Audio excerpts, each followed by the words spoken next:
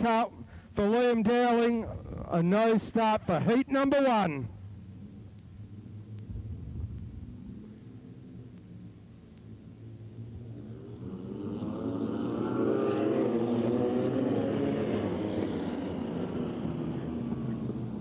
Few anxious drivers, nerves building.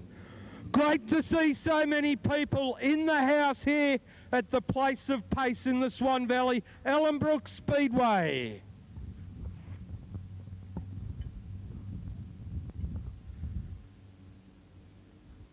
Nash off the front row.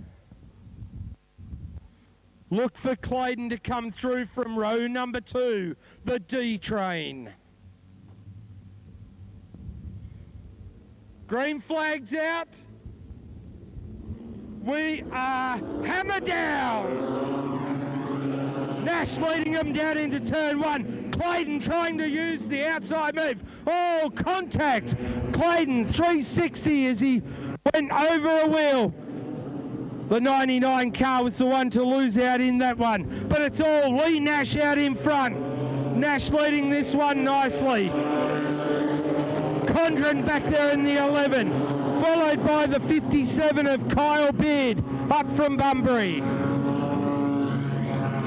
78 Brad Phillips rounding out the field, but at the moment it is all Lee Nash. Nash looking good coming off four. Down the front straight, Condren still in second. Third place, protest going on 57, Kyle Beard. Daryl Clayton underneath Beard now. Back to Nick Bishop, then it's back to Corey Gilpin. But it's all Lee Nash. Nash, Condren, Clayton. Bishop, followed by the 23 of Walsh. Then it's the 78 of Phillips. But here comes Nash one more time. Laps ticking by. Lee Nash out for a leisurely Sunday afternoon drive. Ryan Condren, no answer for it. Nick Bishop in a titanic battle further back in the field.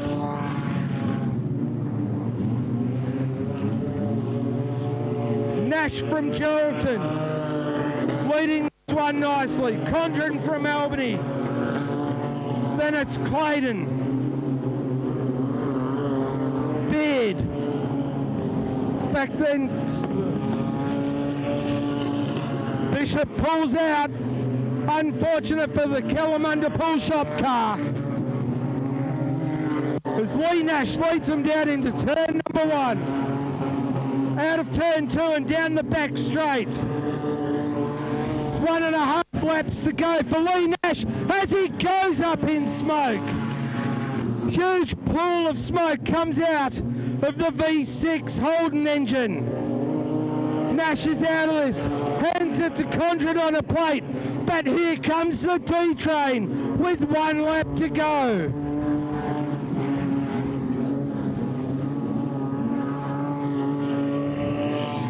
Condren, Clayton charging. It's all Condren at the moment. Ryan Condren picks up the win. Daryl Clayton for second.